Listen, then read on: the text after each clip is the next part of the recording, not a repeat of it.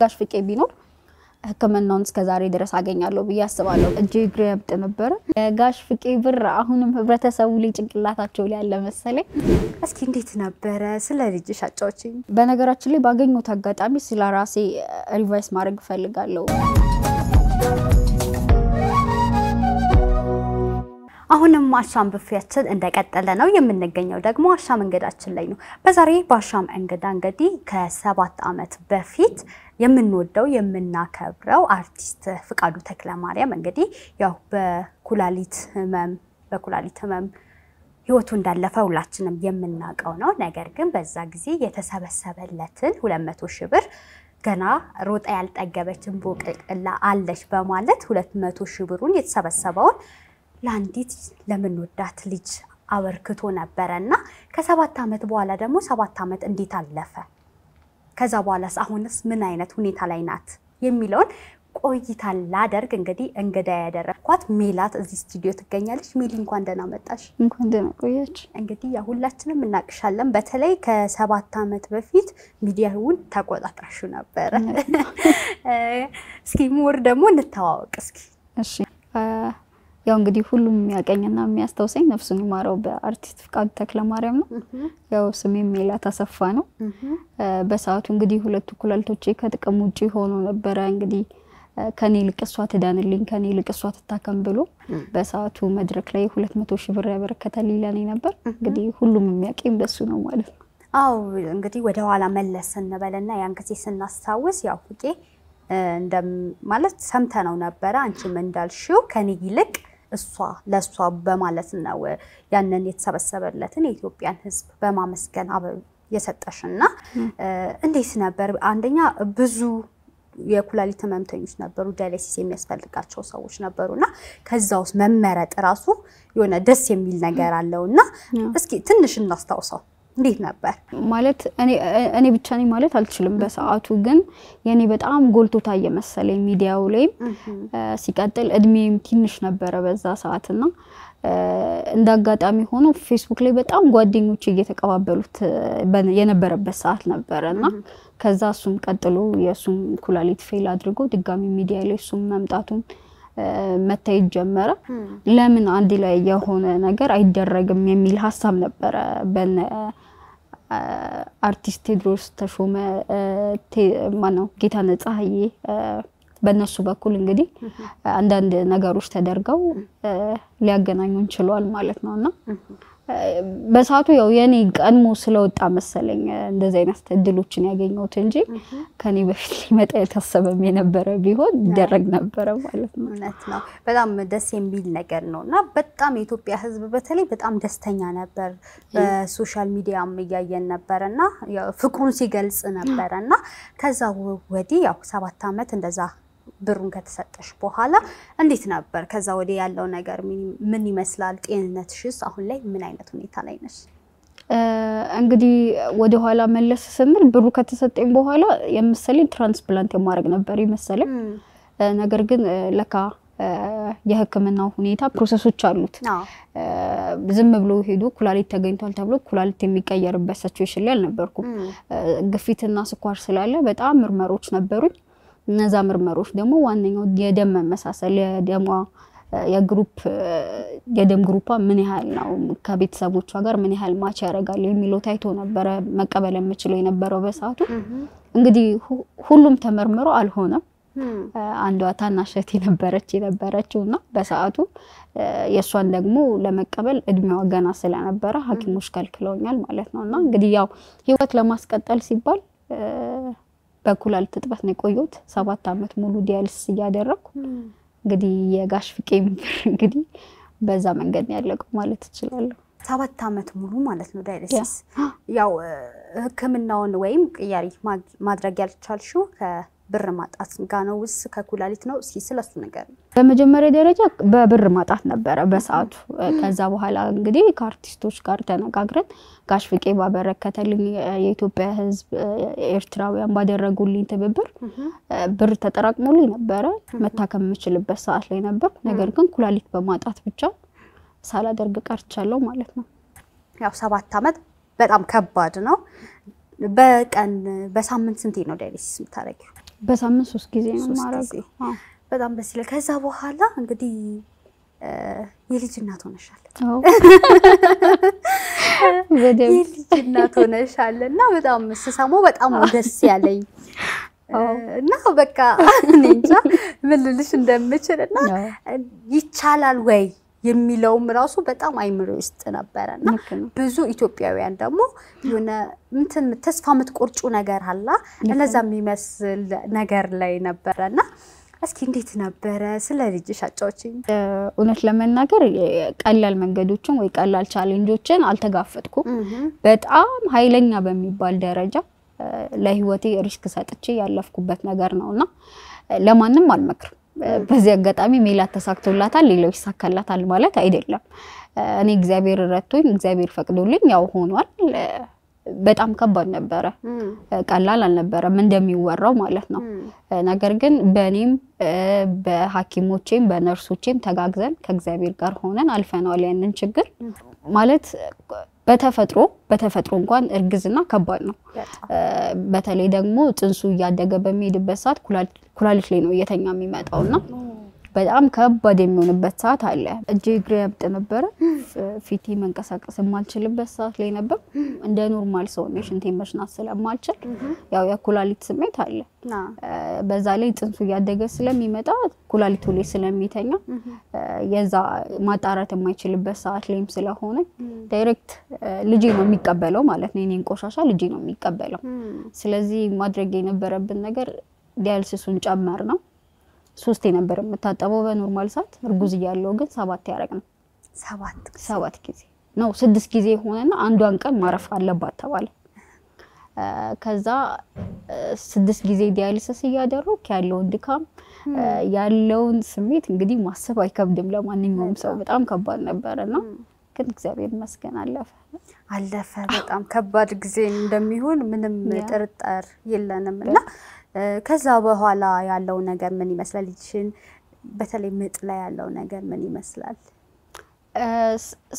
ስምንት ላይ ስገባ እንግዲህ ያዋለደኝ ዶክተሬ በጣም እየተጨቃጨቅን ነበር። እኔ በምጥ ወልዳለሁ፣ እሱ አይሆንም፣ በምጥ አትወልጅም፣ አትችይም፣ አቅም አይኖርሽም። በዛ ላይ ኪሎዬ በጣም ዝቅተኛ ነበረ። ቢያንስ እንኳን አንድ ነፍሰ ጡር ሴት ከአርባ አምስት ኪሎ በላይ መሆን አለባት ተብሎ ነው የሚታሰበው። እኔ ግን ከዛ በታች ነበርኩኝ በሰዓቱ እና በጣም ይፈራ ነበረ። ማለት ልጁን ማጣት አይደለም የሚያስቡት የነበረው በሰዓቱ አንቺን ብናጣሽስ አይነት ስሜት ማለት ነው እና አይሆንም የሚል ምላሽ ነበረ። እኔ ደግሞ ይሆናል እኔ በእግዚአብሔር አምናለሁ እስከ ዛሬም ችዬ መጥቻለሁ የሚል ምላሽ ነበረኝ። ግን ያው እግዚአብሔርም አልፈቀደውም። አልትራሳውንድ እየታየው ስመጣ ትንሽ ያለው ውስጤ ያለው ፈሳሽ እየቀነሰ እየመጣ ስለሆነ ልጄም ከባድ ሁኔታ ላይ እንደሚሆን በኋላም ይወለድ እንኳን ተብሎ ቢወለድ ጤነኛ ልጅ ሊወጣ እንደማይችል ሲነግሩኝ በቃ ፈርሜ ገባሁ ማለት ነው። መምረጥ ግድ ነው። ነው። ያንቺም ህይወት አደጋ ላይ ስለሆነ መምረጥ ግድ ነው። ግን ልጅ ስንት አመት ሆነ? አንድ አመት ከሰባት ወር አንድ አመት ከሰባት ወር። በጣም ነው ደስ የሚለው። ያው ደስ ይላል በጣም እንደዚህ ይሄን ያህል challenge አይተሽበት የፍሬ ሲያፈራ ደግሞ በጣም ደስ ይላል። እና ሚሊ አሁን ሚዲያ ላይ እያየው ነበረ እና ወደ ውጭ ወይም ወደ ቱርክ ሄደሽ ለመታከም ገንዘቡ እንዳጠርሽ ለመስማትም ችያለሁ እና እስኪ እንዴት ነው ያለው ነገር? ይህን ሁሉ ሰባት አመት ሙሉ dialysis በጣም ከባድ ነው። በጣም ወጪውም እንደዛ ነው እና በምንድን ነው ያለሽው? ሰባት አመት እንግዲህ ቅድምም ተናግሬያለሁ። ያው dialysis ውስጥ ከዛሬ ሰዓት ድረስ ያለሁት በኢትዮጵያ ሕብረተሰብ እጅ ላይ ነው። እንግዲህ ጋሽ ፍቄ የሰጠኝ አልቃ ድጋሚ ሕብረተሰቡን አስቸግሬ ነው በዚህ መልኩ ነው ያለሁት እንግዲህ እና እንግዲህ ከሰባት አመት በኋላ ደግሞ የጥቁር አንበሳ ስፔሻሊስት ሐኪሞች ለምን አንሞክርም? እ፣ ይሄን ሁላ አመት ሄደሻል ስናይሽ ቀን በቀን እድሜሽ ማለት ጥሩ ላይ ነው ያለሽው፣ ነገር ግን ኪሎሽ በጣም እየቀነሰ ነው፣ እየጠቆርሽብን ነው የሚል ሀሳብ አመጡልኝ። እስኪ ያለችኝ አማራጭ ታናሽ እህቴ ነች። እሷ እንግዲህ እድሜዋ ለዛ እስከሚደርስ መጠበቅ ነው ያለን አማራጭ ብዬ ያልኩት ሐኪሜ ምክንያቱም በየወሩ የኩላሊት checkup አለኝ እና እዛ ላይ ሲያየኝ ሁሌ አንድ አይነት ሆኜ አይደለም የምሄድበት። አንዴ ደህና ከሆንኩ አንዴ ደግሞ ታምሜ ስለሚሄድ ስለሚያይ በዛ ላይ ወጣት ነሽ፣ ልጅ ነሽ፣ መስራት መማር ትችያለሽ እና ቶሎ transplant ኡን ብናስቀጥል የሚል ሀሳብ አመጣልኝ። ቤት ገብቼ እንግዲህ ቤተሰቦቼን ሳማከራቸው እውነት ለመናገር እህቴ ልጅም እያለች አላንገራገረችም ለእኔ ኩላሊቷን ለመስጠት እና ደግሜ ስጠይቃት የፍርሃት ስሜት እንኳን አልታየባትም። እንችላለን ለምን ምርመራ እናደርግም የሚል ሀሳብ መጣ። ከዛ ዶክተሬ ጋር ይዣት ሄድኩኝ። ያለው ነገር ታይቶ የመጀመሪያ ቦርድ መውሰድ ነበረበት እና አንድ የመቶ ሺህ ብር የምትሞላ ላብራቶሪ ነበረች ውጭ ተልካ ደማችን ይመሳሰላል ምን ያህል የመስጠት advantage አላት የሚለውን ለማየት እኔም የመቀበል ምን ያህል ችሎታ አላት የሚለውን ለማረጋገጥ እሱ ላብራቶሪ ተላከ። እንግዲህ ያለው ነገር በላብራቶሪ ተረጋግጦ የተሳካ ሆነ። በመጀመሪያ ህንድ ነበር የሞከርኩት። ህንድ በእድሜዋ ምክንያት አልተቀበሉኝም፣ እንደ እግዚአብሔር ፍቃድ ሆነ። ነገር ግን ቱርክ ስንሞክር ቱርክ ጥሩ ምላሽ ሰጥተውን እንግዲህ accept አድርገውናል ማለት ነው እና ቱርክ ሄጄ ለመታከም ዛሬ ሙሉ process ኤን ጨርሻለሁ። እግዚአብሔር ይመስገን። እንኳን ደስ አለሽ። thank you። አዎ እንግዲህ በሰዓቱ ስድስት ነጥብ አምስት ነበር የተጠየኩት። ከባድ ነበረ። ነገር ግን ብዙ ደጋግ የሆኑ ኢትዮጵያውያን አሉ። ያለሁበትን ችግር ያለሁበትን ሁኔታ ኢትዮጵያ ውስጥ በጣም ታዋቂ እንደሆንኩ እንዲሁም በጣም በጎና ጥሩ ሰው ለእኔ ህይወቱን እንደሰጠ ጭምር ተናግረውልኝ እንግዲህ ያለውን ነገር ተደራድሮ አስቀንሰውልኝ ዛሬ ሶስት ነጥብ አምስት ለመታከም ዋው በጣም ደስ የሚል ነገር ነው። ስድስት ነጥብ አምስት ሚሊዮን ነበረ። ከዛ ወደ ሶስት ነጥብ አምስት ሚሊዮን ሶስት ሚሊዮን ምናምን ብር discount አደረጉ ማለት ነው። አዎ ቀልድ አይደለም። በጣም በተለይ አሁን ላይ በእውነት በጣም በጣም ደስ የሚል ተስፋ የሚሰጥሽም ነገር ነው እና መች ነው የምትሄጂው? ያለው process ስ ምን ይመስላል?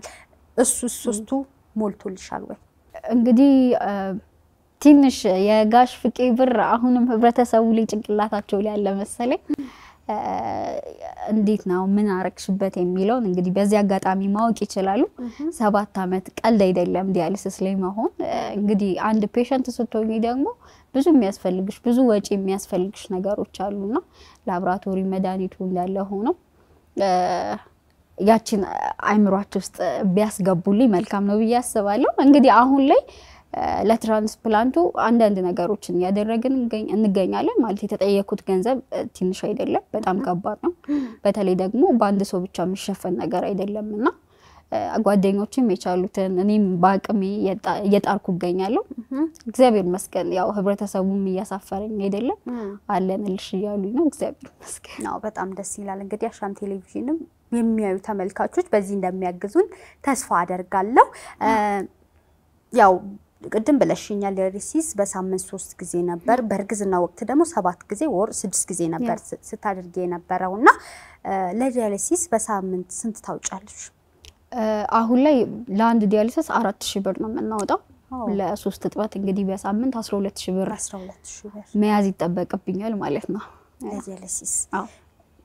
ግን ማለት ሁለት መቶ ሺህ ብር ነው የተሰበሰበው። ከዛ በተጨማሪ ኢንካ ማለት የራስሽ ገቢ አለሽ? በፍጹም ያው እንግዲህ የኔ ሁሉም ህዝብ የሚያውቀው ነው። ተማሪ ያለው ነው ይሄ ማለት ህመም የገጠመኝ በመሀል አስረኛ ክፍል እየተማርኩኝ ነው እንግዲህ ወድቄ እዚህ ሕክምና ውስጥ የገባሁት። የታወቀ ነው። ስራም አልሰራም ልስራም ብዬ ብወጣ መውጣት የማልችልበት ሰዓት ነው። ያው ልውጣ እንኳን ብል ታምሜ ነው የምመለሰው። እንደ ጓደኞቼ ተምሬ ሰርቼ መግባትን አልችልም። አሁን ላይ እንግዲህ ቤት ከልጄ ጋር ቁጭ ብለን ያለ ነው። ያልፋል ይሄም ቀን በደምብ ብዙ ቻለንጆችን አልፈሻልና ለዛም ነው ማለት ለማጥራት ያህል ነው። በሳምንት 12 ሺህ ብር የምታወጪ ከሆነ በጣም ከባድ ነው። በእርግዝና ወቅት ደግሞ ስድስት ጊዜ ማለት እንግዲህ ስምንት ሺህ ብር መጨመር ስምንት አስራ ሁለት ሺህ ብር በዛው መጨመር ማለት ነው። በጣም ከባድ ያው ለተመልካች ለመግለጽ ያክል ነው። በእርግዝና ወቅት ብዙ ቻለንጆች አልፈሻልና አሁን ደግሞ ልጅሽን አንድ አመት ከሰባት ሆኖት ማየት እየሄደ ማየት ከዛ በላይ ምንም የሚያስደስት ነገር የለም እና ምን ሰማው ሚሊ በአንድ እጅሽ ልጅሽን ማቀፍ በአራስ ሆነሽ ልጅሽን ማቀፍ አችም ነበር። እስኪ ስለሷ ጫዎች። በነገራችን ላይ ይሄ ዲያሊሲስ የማደርግበት እጄ አይደለም ሰው ተኝቶበት እቃ እንኳን ለመያዝ በጣም እንትን ይሉናል። ማለት እንዳንጠቀምበት እጃችንን በጣም ይቆጡናል። እና እጓጓ ነበር ማለት ይሄ እንደ ሰው እንደዚህ አቅፌው ያለውን ነገር ማድረግ በጣም እፈልግ ነበር። እና ከእናቴ ጋር በጣም እንጣላ ነበረ እና ይሄ ይሄ እጅሽን ተጠቀሚ ነበር የምትለኝ። አልጋ ላይ አስተኝቼ እንደዚህ እንዳቅፈው ማለት ነው። እና ይሄ እንዴት ነው እንደ ፊልም የሚያልፍብሽ ነገር አለ አይደል? በቃ ፊልም ነገር ነበር የሚመስለኝ።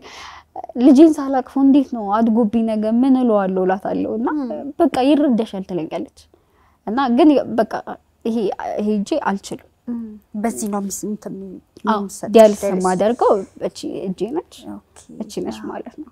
እቺ እንግዲህ ስራዋን ማቆም ከጀመረች እኔ almost በቃ ሽንቴ መሽናት አልችልም። ያለው ቆሻሻ ተጠራቅሞ የማፈን ሳምቤን መንካት አይነት ስሜት ያመጣብኛል ማለት ነው። ይሄኛው በቃ ስትይዢ or ምን ስታደርጊ ነው እንደዛ የሚሆነው? ድምፅ አላት እዚህ የሚል ድምፅ አላት እና እሷ ድምፅ ካቆመች ኩላሊት እናንተ በሽንት ነው አይደል ቆሻሻችሁን የምታወጡት? እኔ ግን የሚወጣልኝ በዚህ ነው። በዚህ በኩል መርፌው ወጋና በካቴተር ነው የሚወጣልኝ ማለት ነው። እግዚአብሔር እንግዲህ ገላግልሽ። ሌላ ምንም ልልሽ አልችልም በእውነት ሚሉ ቤተሰብ በቤተሰብ ያው ቅድም ብለሽኛል እና ሰባት ዓመት ያው ባለቤትሽም አለ እና ለባለቤትሽ ልዩ የሆነ ቦታ እንዳለሽ ሰምቻለሁ እና በዚህ ባለቤትሽ ጋር ስትጋቡ ከታመምሽ በኋላ ነው ነው ከዛ በፊት ነው ትውውቃችሁ ምን ይመስላል? ማወቅ ፈልጌ ነው። ችግር የለውም። ከባለቤቴ ጋር የተገናኘ ነው ያው ኩላሊቴ fail ካደረገ በኋላ ሚዲያ ላይ ካየኝ በኋላ ነው እንግዲህ እሱ ከዛ በፊት ነው የሚያውቀኝ። ነገር ግን እንደዚህ በደንብ ጠልቆ ያወቀኝ በተለይ ደግሞ ኢቲቪ ላይ ከቀረብኩኝ በኋላ በደንብ ማለት እሱ ያለበት አካባቢ እኛም ኖረናል እና ያውቀኝ ነበረ። ይበልጥ የተግባባ ነው እንግዲህ ያው ከታመምኩኝ በኋላ ነው ማለት ነው። ከታመምሽ በኋላ ያው ብዙ ሰው ማለት የታመም ማለት ህመም ላይ ሆነሽ ሊጠጋሽ የሚፈልግ ሰው አሁን ላይ ባለው ከብዙዎች ጥቂቶች ናቸው እና እንዴት ነበረ? እንዴት ሊግባባሽ ወይም ወደ አንቺ ለትዳር እንዴት መጣ?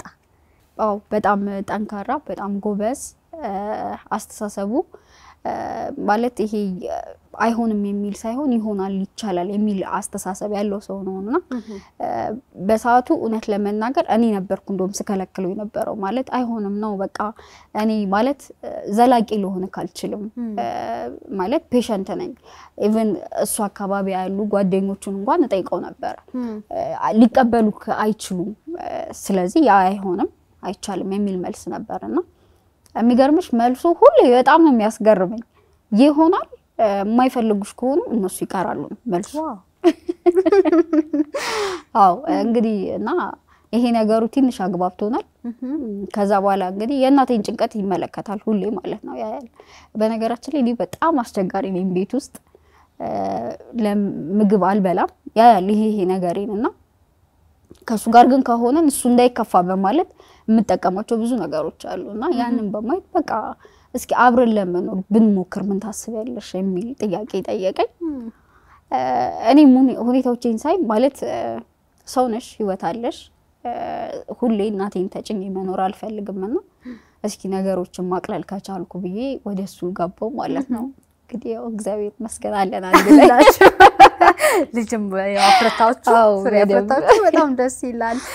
ለምን እንዳልኩሽ ይህን ጥያቄ ያነሳሁት ያው ብዙዎቻችን በተለይ ኢትዮጵያውያን እንዲህ አይነት ነገሮችን ለመቀበል በጣም እንፈራለን። even አውቀሹ አውቆ የሆነ ነገር አብረሹ ሆነሽ ራሱ የሆነ ነገር ቢፈጠር ወደ ኋላ የምትል የሚል በጣም ብዙ ስላለ ነው ይሄን ጥያቄ ያነሳውልሽ። እና እንደው ሜሊ ብዙ challenge ኦችን አልፈሻል። challenge ምን challenge አደረገሽ ብዬ አልጠየቅሽም፣ ግን ከባዱ አይ ተስፋ የቆረጥሽበት ጊዜ ነበር ነበር? ያው አይኖርም ብዬ መናገር ይከብደኛል፣ ምክንያቱም ሰው ነኝ። በህይወቴ ውስጥ ብዙ የመጡ ብዙ የሄዱ ነገሮች አሉ። ጋሽ ፍቄ ገንዘቡን ከመስጠቱ በፊት ብዙ ነገሮች ተለውጠው ነበረ። በተለይ በቤተሰቤ ዙሪያ ላይ በዚህ ሕክምና ጉዳይ እናቴን አይዞሽ አለንልሽ ብለው ጥፍት የሚሉ ሰዎች ነበሩና ያን ያን ነገር ስመለከት የኔ ሕክምና ምን ላይ ነው? እሷን ከማስጨነቅ ውጪ ምንም ማደርግላት ነገር የለም እና እኔ ከንቱ ሰው ነኝ፣ ለምን እዚህ ዓለም ላይ ተፈጠርኩ ብዬ ያማረርኩበት ጊዜ አለ። የለም አልልም፣ ግን ያም ጊዜ እግዚአብሔር አምላክ ረድቶን እንግዲህ አልፏል ማለት ነው። እና ነበር ነበር በደንብ ነበር። ማዘርስ እንዴት ነው? በተለይ በፊት ላይ የነበረውን ነገር እና አሁን ያለውን ነገር ስታይ ያላት ተስፋ ምን ይመስላል? ቤት ውስጥ ያለው ነገር ወይኔ በተለይ ደግሞ ልጅን ስትመለከት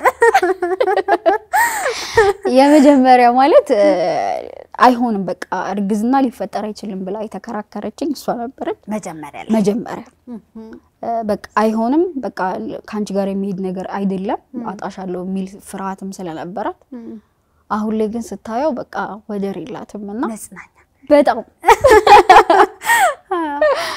እና በቃ አችልም ስታየው ላውላ በቃ እንኳን ሆነ እንኳን ተደረገ ትላለች። እና የማይመስሉ የማያልፉ የሚመስሉሽ ቀናቶች ያልፋሉ እና አሁን ላይ አልፎ ስታየው ደግሞ በይበልጥ በጣም ደስ ይላታል። እና እንኳን ወለድሽ እንኳን ዓይንሽን አየሽ ነው የምትለኝ ነው።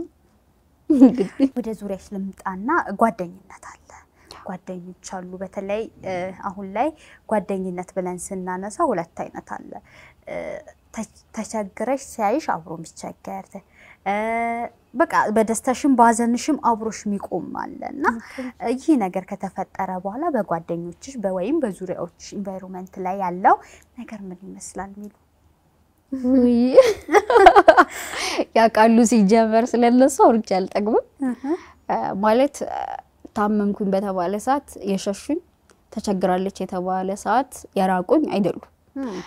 እንዲሁም የሚገርምሽ በእነሱ እገዛ በእነሱ ብርታትነት ነው እስከ ዛሬ ድረስ እዚህ ቆሜም ያለሁት። ሌላው ከፈጣሪ ቀጥሎ እንግዲህ ቤተሰቦች ያላደረጉልኝም በጣም አፌ ሞልቼ ነው የምናገረው ስለነሱ። ቤተሰቦች ያላደረጉልኝን እነሱ ወጥተው እባካችሁ ጓደኞቼን አድኑልኝ ብለው እያለቀሱ ዛሬ ላይ እዚህ እንድቆም ያደረጉኝ እነሱ ናቸው እና አብሮ የተማሩ ተማሪዎች፣ አብሮ አደጎቼ፣ የሰፈር ልጆች ስለ እነሱ ተናገሬ ልጠግብ አልችልም።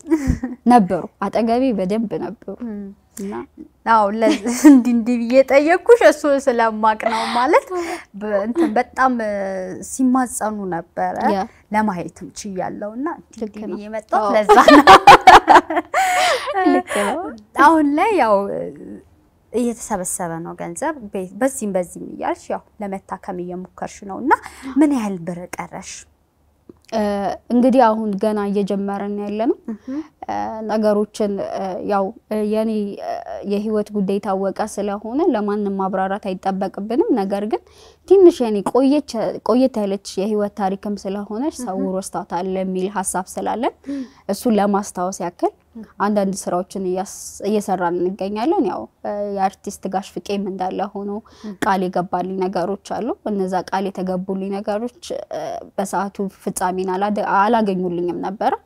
ነገር ግን አሁን ሰዓቱ ደርሶ ሊሆን ስለቻለ ከጓደኞቼ ጋር ሰፋ ያለ ሀሳብ ይዘን መተን በምን መልኩ ገንዘቡ ቢሰባሰብ ይሻላል፣ በምን መልኩ የጋሽ ፍቄን ህይወት ማንሳት እንችላለን የሚለውን ነገር እያነጻጸርን አጠገብ ለአጠገብ እያደረግን ያለውን ነገር እንግዲህ እያሰባሰብን እንገኛለን። ገና ጅማሬ ላይ ነን። ይሄን ያህል ገንዘብ ገብቶልኛል ማለት የምችልበት ሰዓት ላይ አይደለሁም። ነገር ግን አልሞላም። ለሕክምናውም ቀርብ ያለው ማለት የምችልበትም ሰዓት ላይ ስላልሆንኩኝ ገና እገዛ ያስፈልገኛል። እንግዲህ በዚህ አጋጣሚ እርዲ ነው ማለት የምፈልግ በጣም ምንድን ነው ቃል የተገባልሽ በጋሽ ፍቄ ጊዜ? ያው እኔ እስከማውቀው ወይም በሚዲያ እንደተነገረው የብር ስጦታ እንደተሰጠሽ ነው እና ቃል የተገባልሽ ነገር ምንድን ነው? ትንሽ ከጋሽ ፍቄ ቃላቶችን ስንጠቀም እንግዲህ በሰዓቱ እኔ መታከም አልችልም፣ እሷ ቀድማ ካልታከመችልኝ እኔ የተሰበሰበልኝን ገንዘብ መቀበል የማልችልበት ሰዓት ላይ ነኝ የሚል ምላሽ ነበር የሰጠው። እሱን እንግዲህ አያይዘን ያው እንግዲህ ሕክምና እኔ ቀድሜ ማድረግ በነገራችን ላይ ነፍሱን ይማረውና ጋሽ ፍቄ ቢኖር ሕክምናውን እስከ ዛሬ ድረስ አገኛለሁ ብዬ አስባለሁ። ምክንያቱም እሱ በዛን ሰዓት ላይ ቃል ገብቶልኝ ነበረ። ስለዚህ የሕክምና ሂደቶችም ስለነበሩ ያንን እንግዲህ ተጠቅመን ሳይደረግ ቀርቷል ማለት ነው። ነገር ግን አሁን ሰዓቱ ስለደረሰ ያችን ቃል ግን ለማስታወስ ሳንረሳት ጋሽ ፍቄ በሰዓቱ ቢኖርልኝ ሊደረግ የሚችለው በሱ እጅ አልፌ ይታከም ነበር የሚል ሀሳብ ነው እንግዲህ ነበረ። ከዛ ባሻገር እንግዲህ በሰዓቱ በዙሪያችን የነበሩ ብዙ አርቲስቶች ነበሩ። እንግዲህ አይዞሽ አለንልሽ ብለውኛል። እንግዲህ ዛሬ ላይም ደግሞ እንደሚኖሩ አጠገቢ እንደሚኖሩ አልጠራጠርም ብዬ አስባለሁ። እንግዲህ ይህን ይመስላል። አናግረሻቸዋል ማለት አሁን በፊት ላይ እነ ተሾመ ቅድም ብለሽኛል እና እነ መሰረት መብራት ይውላ ነበሩበት እና እነሱን አሁን ቀርበሽ የማናገር ነገር አለ ወይም አድራሻሽን ላይኖራቸው ይችላል። ከእነሱም በኩል እየፈለጉ ነገሮችን ለማስተካከል እየፈለጉ ላትገናኙ ትችላላችሁ። አንቺ ሞክረሻል? እውነት ለመናገር አልሞከርኩም። ነገር ግን አሁን ሰዓቱ ነው ብዬ ስለማስብ ያለውን ነገር እንግዲህ ሚዲያ ላይ የሚሰሙታል ብዬ አስባለሁ። እንግዲህ እንገናኛለን ብዬ ተስፋ እያረኩኝ ነው። ያው እንግዲህ እግዚአብሔር ያሳካው። እንግዲህ እኛም ጸሎታችን ነው። እ፣ ዳይሲስ እኩል ጀምራ ከእሷ ጋር የጀመሩ ሰዎች በህይወት እንደሌሉ ለመስማች ያለው ሚሉ ግን እስካሁን ያው አለሽ፣ ከዚህ በኋላም ትኖር ያለሽ። እንዴት ነው ይሄ ነገር? እንግዲህ በብዙ ምክንያት ነው ህይወታቸውን ያጡት። ዋነኛው ግን እውነት ነው ግን አይደል? እውነት ነው በደንብ የሚገርምሽ አንድ ክፍል ውስጥ የምንታጠበው ሀያ እንሞላለን ብዬ አስባለሁ ካልተሳሳትኩ። ከሀያ ውስጥ ሁለት ሰው ብቻ ነው የቀረን ከሀያ ውስጥ በህይወት ያለ ነው። እንግዲህ ከዛሬ ሰባት ዓመት በፊት ስመልስሽ ወደ ኋላ አ፣ ዋነኛው ምክንያት ኢንፌክሽን ነበረ። ያው ኩላሊቱ የሚያመጣው አንዳንድ ኢንፌክሽን የሆኑ ነገሮች ነበሩ። በዛ ምክንያት እንግዲህ ህይወታቸውን ሊያጡ ችሏል። ኮቪድ ነበረ። በኮቪድ ምክንያት እንዲሁም ደግሞ በራሱ በኩላሊቱ የማፈን ስሜት ስላለው ትንሽ ያለማወቅ የግንዛቤ ማጠር ነገር በዛ ምክንያት እንግዲህ ህይወታቸውን ሊያጡ ችሏል። እንግዲህ እግዚአብሔር ፈቅዶ ሁለት ሰዎች ብቻ ቀርተናል። ለፈጣሪም ያው ለታምር ነው አይደል? በደንብ አምናለሁ በዚህ እና ለዛ ነው እንደው ሚሊን አለውልሽ ማለት ለሚፈልግ ሰው እንዲሁም እኔ ማገዝ እፈልጋለሁ ለሚል ሰው እንዴት ነው የሚያገኝሽ? በምንድን ነው የሚያገኝሽ? በነገራችን ላይ በይበልጥ በይበልጥ ማለት ያለውን የኔን ስሜት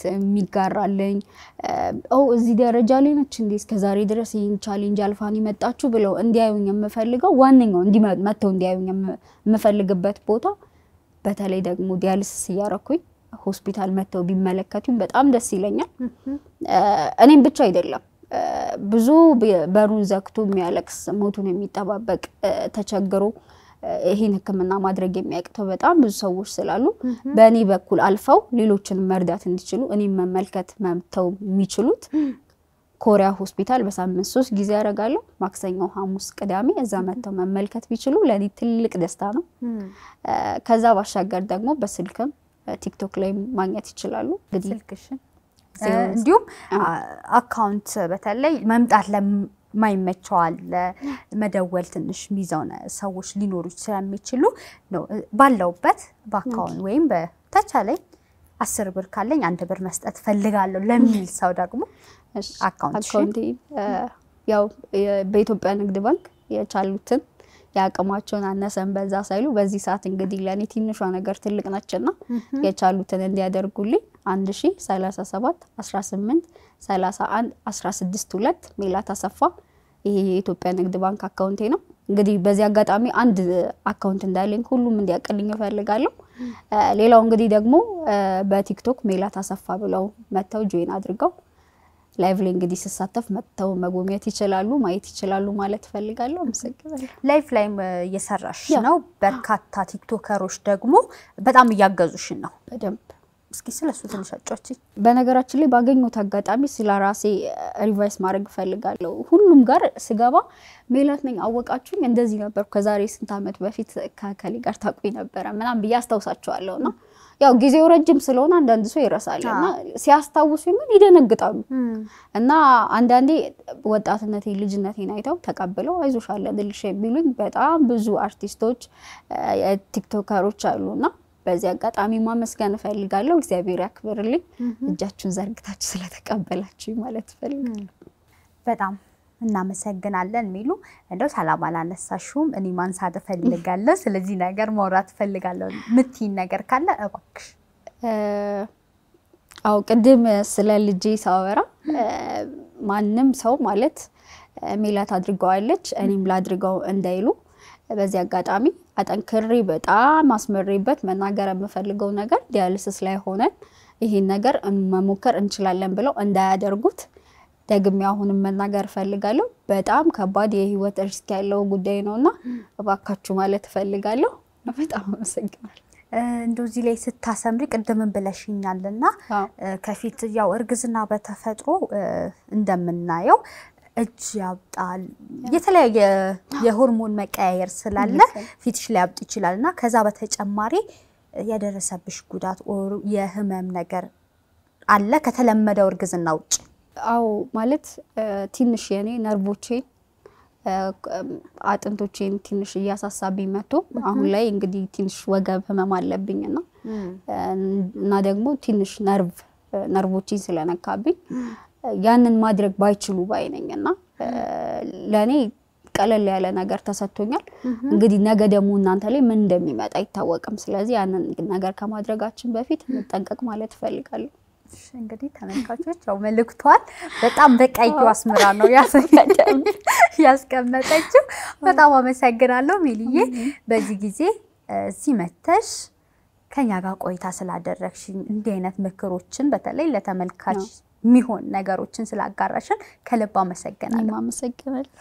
እንግዲህ ውድ ተመልካቾቻችን ሜላትን ያው የተናገረችውን ይመስል ነበር። ከስድስት ነጥብ አምስት ሚሊዮን ወደ ሶስት ነጥብ አምስት ሚሊዮን ዝቅ discount ተደርጎላታል። ይህንን ደግሞ እናንተ ውድ ኢትዮጵያውያን የአሻም ቴሌቪዥን ተመልካቾች እንግዲህ እባካችሁ በምትችሉት መጠን የቻላችሁትን አምስት ብርም ሊሆን ይችላል፣ አስር ብርም ሊሆን ይችላል የቻላችሁትን በመርዳት ብዙ ያው እነዚህ ብሮች ሲጠራቀሙ ነው ብዙ ሊሆን የሚችለው እና ብንተባበር የሜላትን ህይወት ልንታደግ እንችላለን እንላለን። በአሻም ቴሌቪዥን ስም እባካችሁ እባካችሁ እንላለን። የዛሬው የአሻም እንግዳ ፕሮግራማችን ይህንን ይመስል ነበር። ፕሮግራሙን በማዘጋጀት ወደ እናንተ ሳደርስ የነበርኩት እኔ ሰላማዊት አዘዘ ነበርኩኝ። አሻም ብፌያችን ይቀጥላል።